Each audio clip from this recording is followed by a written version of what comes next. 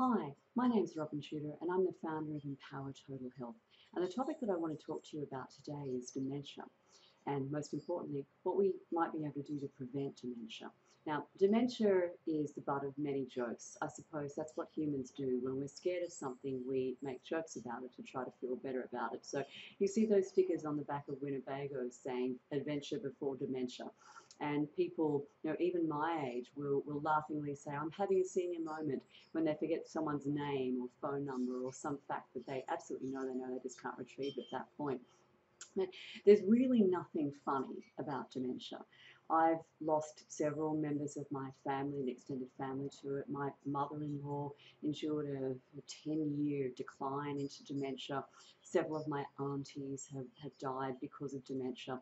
And there's, there's just totally nothing funny about watching someone that you care about gradually lose all their physical capacities, lose their ability to take care of themselves, eat, toilet, engage in, in conversation. They forget who you are, they forget who they are. There's a total disintegration of personality before they gradually, painfully, slowly die. It's just awful. Many people assume that dementia is a normal part of the aging process, that it's just something that happens as you get older. And this actually isn't true. Dementia is a disease. More accurately, it's a group of diseases. There's a, around 100 different types of diseases that cause dementia. The most common of them are Alzheimer's disease, vascular dementia, dementia with Lewy bodies. Um, there's frontotemporal dementia and uh, and also alcohol-related dementia. There's quite a number of other kinds, but they're probably the, the most common. And if, if you look at the, the rate of, of dementia in Australia, if you're aged 65 or over, there's actually a 10% chance that you're going to be suffering from dementia. Once you get to 85 and over, the numbers are even more worrying. So 31% of Australians in that age bracket are, are living with dementia. When I say they're living with dementia, the reality is the entire community is living with their dementia. So their, their spouse, their children, their siblings, their friends, and of course the, the healthcare system and the aged care system are all having to live and cope with these people who are suffering from dementia. So the, the costs of dementia are just unbelievable. There's obviously an, an economic cost. There's a, a massive emotional and social cost as well and these costs are only going to go up. We've got, uh, as of 2015, we had three, 342,000, I'm sorry, 800 Australians, so say 35, uh, 350,000 odd Australians living with dementia. And because of aging of the population and, and, just population growth as well, it's predicted that by 2020 we'll have 400,000 people living with dementia.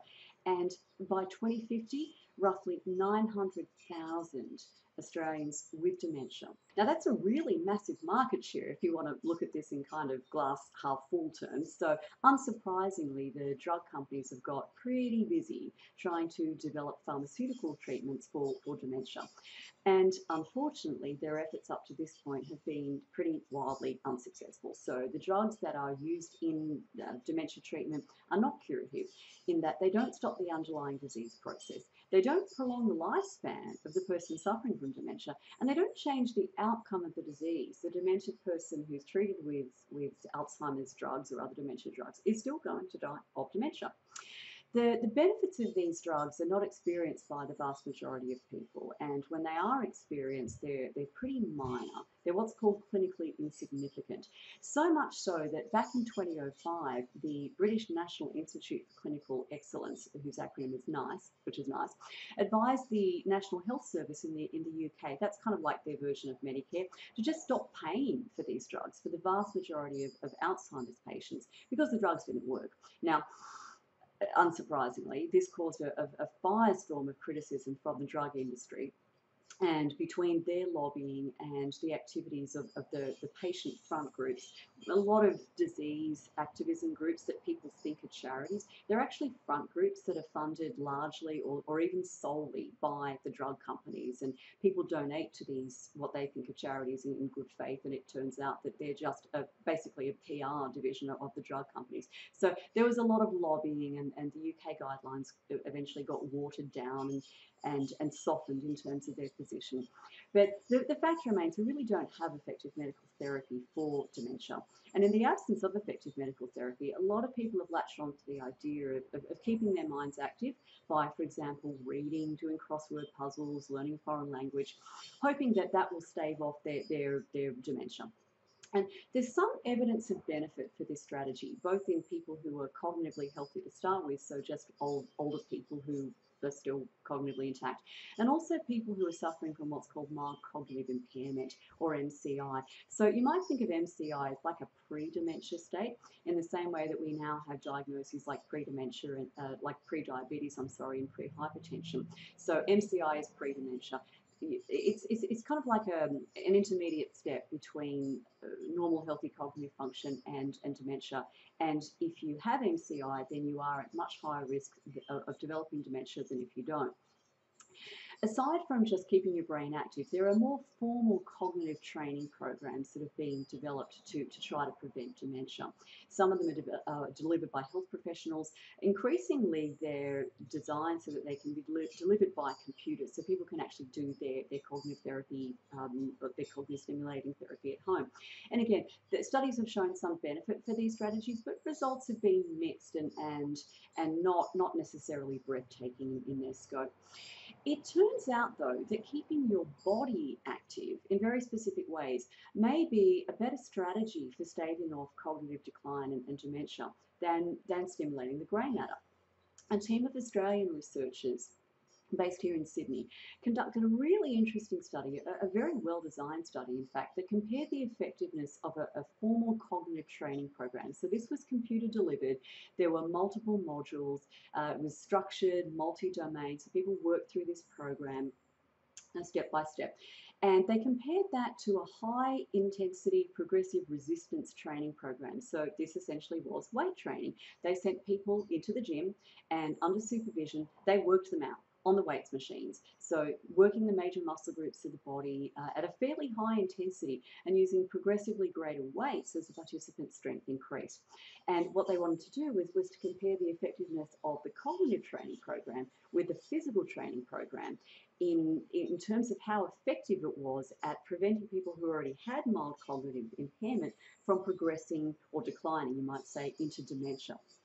So they had 100 adults recruited into this study and they randomized them. So they just randomly allocated them in, into one of four groups. So you had your cognitive training group, they did the computer program, and they had what was what, what the researchers called a sham exercise intervention. So this was like a placebo control. They basically got these people in a room and had them stretch a bit and sit on chairs and do a few calisthenics. Nothing very strenuous, nothing that would raise the heart rate, nothing that would make them any physically stronger. So that's your cognitive training group. Then you had your progressive resistance exercise exercise group. They were sent off to the gym and worked out. And then they also had a sham cognitive intervention. So they got herded into a room, they were shown some nature documentaries, uh, National Geographic type stuff, and then asked questions afterward. Then you had a combined group. So they did the cognitive training and the physical training. And then you had a control group. So they got the sham exercise program, sitting in a chair and doing arm circles, and the sham cognitive intervention, sitting in a room and watching documentaries. And then they followed up these, these older people who you remember already had a diagnosis of mild cognitive impairment. They followed them up for 18 months. And what they found was really nothing short of fascinating. Now, they, they had anticipated, on the basis of previous studies, that the people who were randomized to the exercise only group would have really dramatic uh, improvements in their executive function. And this is exactly what happened. Executive function describes the higher order cognitive skills that we use to control and coordinate all our other thinking abilities and our behavior so that we can plan and execute goal-oriented behavior. And the goal might be anything from getting dressed in the morning to planning a space mission. Both of those, both of those and anything in between involves executive function. What was really interesting though, and this was quite contrary to the researchers' expectations, was that the exercise only group actually did better, substantially better, than the combined group, the people who were getting the cognitive training and the exercise intervention as in 60% better scores in terms of executive function at six month follow up and 74% better at the 18 month mark. Now, the researchers weren't really sure why this happened, but they speculated that the combined intervention was, was just pretty stressful. It was very intense, it was mentally and physically challenging, and they wondered whether the participants, because of this additional load in their lives, might have kind of dropped out of home and, and community engagement and, and, and done a few less activities that promote cognitive health, but they weren't really sure. Bottom line, though, was, was that intense physical exercise was incredibly effective at improving executive function. Resistance training also improved the proportion of people who achieved normal test scores, as in uh, the scores that you would get if you didn't have mild cognitive impairment on tests of, of what's called global cognitive function, which is pretty much just overall thinking ability. Whereas cognitive, uh, cognitive training actually had no effect on, on this. It's very surprising. The take home message is that if you want to stave off both physical decline and mental decline as you get older, you really have to work your body and you have to work it hard. Those gentle exercise for seniors classes where you, you know, do a bit of stretching and maybe lift a half a kilo dumbbell, they just will not cut it. They don't work. They don't make people physically stronger, and they certainly don't improve their, their cognitive well-being or their thinking ability as well. The problem is, of course, that older people, and most particularly older women, don't necessarily feel terribly comfortable going to a gym and going into the weights room and competing for, for space and machines with some 25 year old steroid infused, sweaty, stinky muscle jockey. So the best bet, if, if, if that describes you, is find a small personal training studio or even better, a studio that's run by an exercise physiologist who, who just has a lot more training in terms of, of helping you to exercise safely and correctly. Um, short of that, a, a, an experienced personal trainer who's done some some additional training, some additional studies in working with older people is a great idea. And you may even be eligible for a Medicare referral from your GP. So ask your GP if you qualify for that program. Then you could go see an exercise physiologist and get a program designed for you. Now remember, your, your resistance exercise program needs to be challenging. If you can lift a weight, you know, 15, 20 times and not even raising a sweat, that's just not hard enough to offer benefit. And aside from being uh, challenging, the program needs to be what's called progressive. And what this means is that once you reach the point where you can do eight or 10 repetitions of an exercise with a particular weight and it's getting easy, you make it harder by increasing the weight or changing to a more challenging version of the exercise. I should also mention here that, that cardiovascular disease, heart and blood vessel disease, is a major risk factor for developing Alzheimer's and vascular dementia, which are the two most common forms of dementia. It's extremely probable, it's almost certain that the same dietary risk factors that, that put you at high risk of having a heart attack um, or other um, or, or, angina or other manifestations of cardiovascular disease also contribute to brain disease. And there's an old saying that says you can't out exercise a bad diet. And this is true whether you're 25 and want to have a six pack or whether you're 85 and don't want to end up in a nursing home suffering from dementia. So be sure to couple your resistance exercise training program with a heart healthy eating plan, which I have a lot of information about on my website, empowertotalhealth.com.au. So if you uh, have listened up to this point, you're thinking, this sounds like a good plan, but I have no idea where to get started. Or I've tried exercising before, but I just can't get into the habit, or I go well for a couple of weeks and then I fall off the wagon. I've never been able to maintain an exercise habit. I'm actually covering this very topic, how to work exercise into your life, how to set up a, an exercise routine that benefits you and that you can live with forever. I'm covering this in detail in a webinar that I'm running for members of my Empower Ed program. That's education that empowers you. And the webinar is called Get Moving, how to set up and maintain an exercise routine that works for you. It's going to be at 8 p.m., that's Sydney time, on the 28th of February uh, this year, 2017.